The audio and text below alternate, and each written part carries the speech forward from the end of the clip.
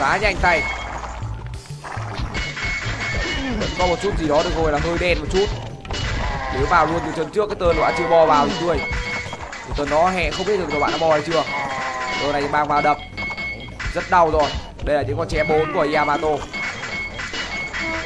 Những con chém bốn dồn tiếp chém lên nào anh ơi. Và bài này thì hai l siêu đều. Dồn tiếp chém lên. Như vậy là Bi bay nhà. Và đây là một trận đấu hay. Vâng khả năng cao. Trận này sẽ có một chiến thắng đấy. Nhưng Bi vẫn đang thủ nhà được. Chưa biết thế nào một lần đâu. Nhưng anh đang ăn được rất nhiều dân của Bi rồi. Chém vẫn đang dồn đều. Kể cả mất ờ, rất nhiều dân cho chúng phát lên Nhưng mà Yamato chém rất rẻ.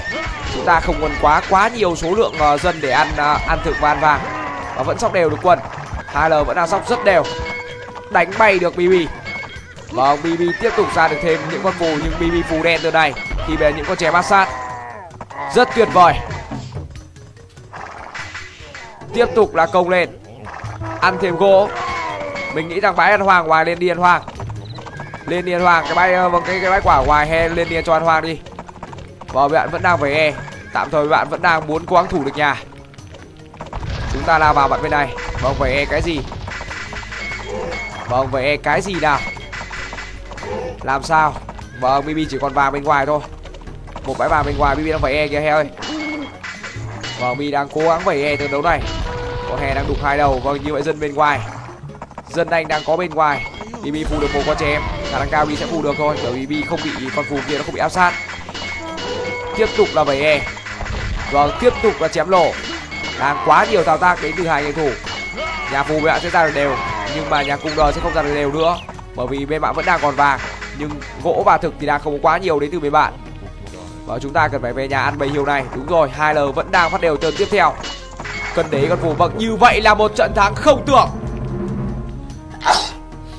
Vâng cái trận thua thì anh cũng không tưởng. Vâng cái trận thua cũng là một trận đấu không tưởng mà trận thắng cũng là một trận đấu không tưởng.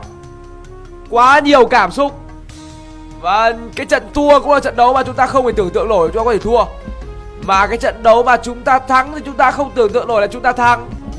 Và một cái bài đấu mà nghĩ rằng He đã làm ngay từ đầu khi bài đấu BB khung nhà, bài đấu BB đánh khỏe nhưng không ngờ rằng một tình huống mà nâng cấp champ 4 nó mang cả dân vào đập nó hiệu quả đến như vậy. Và chúng ta có một trận đấu chiến thắng trước game của trong trận này. Và đúng thật sự là cái đế chế nó à, huyền bí thật sự luôn nha. Và cái độ ảo diệu đế chế này nó có nhiều lắm. Đặc biệt là trong hai con người mang tên BB và He He Không thể tin nổi.